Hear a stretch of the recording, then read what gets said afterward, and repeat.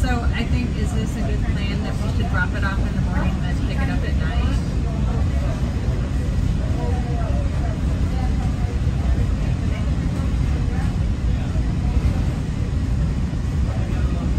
Okay. Um, well, if it works, to drop it off in the morning and then